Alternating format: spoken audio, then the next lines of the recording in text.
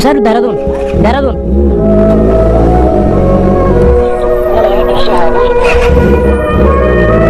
तो अरे सर ये फोर सिलेंडर बाइक है सात सौ सीसी बाइक। बाइक के परमिटेड ही नहीं यहाँ पे। सर मैं फ़र्स्ट टाइम पीएम के रूट पे हाथ से मारते हुए चले आ रहे हो। नहीं नहीं सर मैं यहाँ तो फिफ्टी से ऊपर अलाउड ही नहीं है। ठीक है सर ट्वेंटी थर्टी चल रहा था इससे ज़्यादा नहीं सर।